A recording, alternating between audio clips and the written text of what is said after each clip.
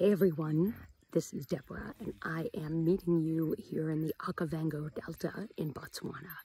And you might be able to see right behind me some flashes of lightning.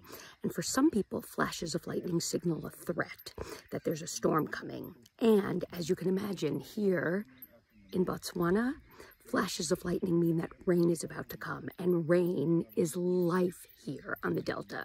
So what does this mean for all of us? It means that some of us may experience fear and threat, where other people see opportunity and hope.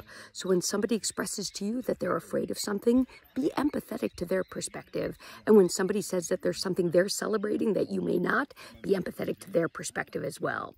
Yep, I'm coming to you from Botswana, the Okavango Delta, and that is lightning behind me, which here means life.